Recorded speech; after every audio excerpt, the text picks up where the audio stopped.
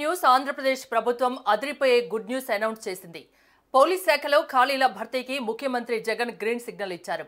నిరుద్యోగులకు తీపి కబురు చెబుతూ రాష్ట్రంలోని ఆరు వేల ఐదు వందల పదకొండు పోలీసు ఉద్యోగాల భర్తీ ప్రక్రియ మొదలుపెట్టనున్నట్లు ప్రకటించారు.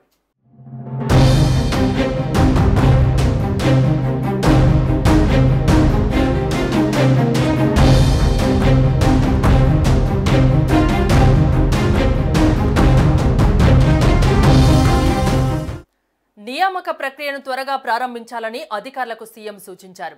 దీనికి సంబంధించిన నోటిఫికేషన్ త్వరలోనే వెలువడనున్నట్లు అధికార వర్గాల సమాచారం.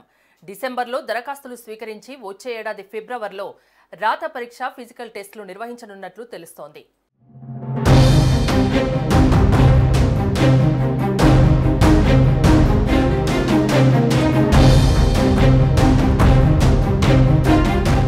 పోలీస్ శాఖకు సంబంధించి సివిల్ ఎస్ఐ పోస్టులు మూడు వందల ఎనభై ఏడు ఏపీఎస్పీ ఎస్ఐ పోస్టులు తొంభై ఆరు సివిల్ కానిస్టేబుల్ పోస్టులు మూడు వేల ఐదు వందల ఎనిమిది ఏపీఎస్పీ కానిస్టేబుల్ పోస్టులు రెండు వేల ఐదు వందల ఇరవై ఖాళీలు ఉన్నాయి.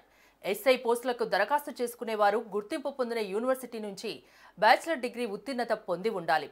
కానిస్టేబుల్ పోస్టులకు ఇంటర్మీడియట్ ఉత్తీర్ణులవ్వాలి.